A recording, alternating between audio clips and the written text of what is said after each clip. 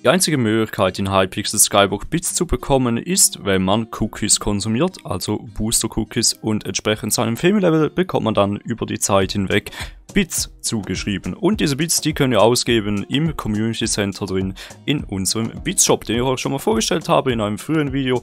Und heute wollen wir hier in diesem Bits Shop einfach mal darüber reden, welche Items sich dann wirklich lohnen für die Anzahl Bits oder welche Items hier dann wirklich auch die sinnvollsten sind. Kurz, wofür sollte ich meine Bits ausgeben? If I was the sinner, would you be the preacher? Would you be my...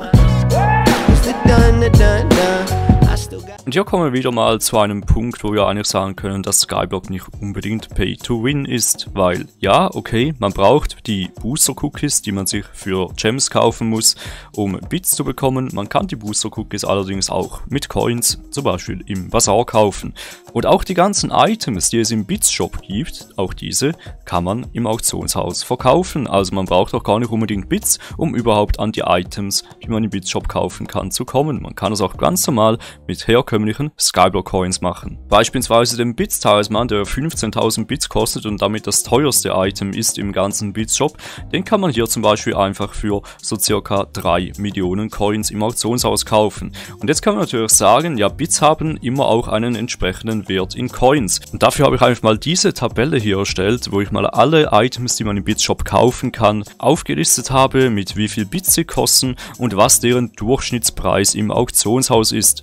Und wenn man dann den Preis im Auktionshaus geteilt durch die Anzahl Bits, die das Item kostet, rechnet, dann bekommen wir einen Wert. Und damit bekommen wir im Endeffekt heraus, welches Item sich am meisten lohnt, um dann zum Beispiel mit Bits zu kaufen und auch wieder zu verkaufen. Und aktuell sehen wir hier ganz unten ist es die Builders Wand. Die kostet 12.000 Bits im Bitshop und geht im AH aktuell für über 3 Millionen Coins weg im Schnitt. Hat also damit so gesehen den größten Geldwert umgerechnet von Bits auf Coins. Und ganz oben sehen wir, den niedrigsten Wert hat das Hologramm, also wenn ihr auf eurer Insel irgendwo einen fancy Text hinschreiben wollt, da kriegt ihr so gesehen im Verhältnis zu dem, was es im Auktionshaus kostet und für das, was es im Bitshop kostet, kriegt ihr gerade mal fast noch die Hälfte von dem, was ihr eigentlich bei der Bilderswand für die Anzahl Bits kriegen würdet, wenn ihr es eben im Auktionshaus verkaufen würdet. Und wir sehen auch ganz unten den Dungeon Sack, den kann man leider nicht im Auktionshaus verkaufen, deswegen kann ich da auch keine genaue Angabe machen,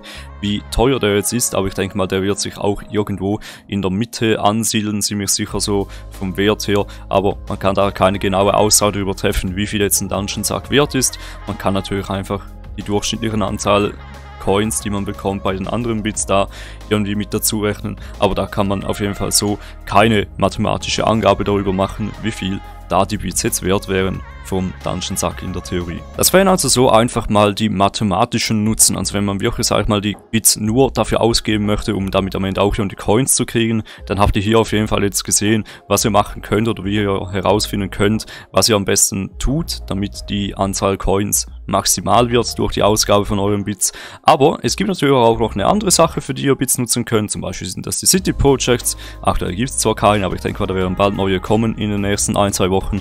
Ich gehe auch stark davon aus, dass kommende Woche da das neue City Project, die Bartender Brewery, release wird und dann wahrscheinlich eben auch der neue Zombie Slayer Boss.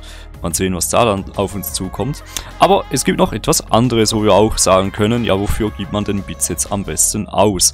Und ich würde da tatsächlich sagen, dass ich meine persönlichen Einschätzungen sehr, sehr gut mit dieser mathematischen Tabelle decken, denn ich würde auch behaupten, dass die Builders waren wahrscheinlich etwas vom wirklich wichtigsten oder auch etwas vom praktischsten ist, wenn man die mal hat. Und dann gibt es ja aktuell noch äh, einen anderen Grund, weswegen diese Items aktuell gerade auch so viel wert sind.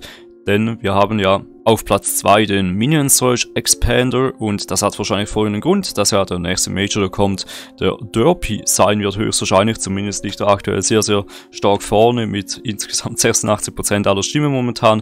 Der macht ja, dass eure Minions den doppelten Output haben, plus, dass ihr auch auf 50% mehr Skill XP bekommt und so weiter. Also auf jeden Fall ein ziemlich krasser Major, der als nächstes jetzt kommen wird wahrscheinlich und deswegen wären wahrscheinlich eben auch aktuell gerade Items, die etwas mit Minions zu tun haben, haben, relativ hoch im Kurs sein, auch was die Bits-Umrechnung betrifft. Ich denke, je nachdem, was jetzt beim neuen CD Projekt rauskommt, dürfte es wahrscheinlich auch ein oder zwei neue Items wieder geben im Bits Shop und da muss man dann je nachdem natürlich auch nochmal das Ganze neu berechnen, nochmal neu anschauen, aber ansonsten hoffe ich, dass euch dieses Video weitergeholfen hat. Wie gesagt, ihr könnt es natürlich auch selber ausrechnen. Vergesst nicht, es zu bewerten und falls ihr noch kein Abonnent dieses Kanals seid, dann lasst gerne ein Abo da und vergesst nicht die Glocke zu aktivieren.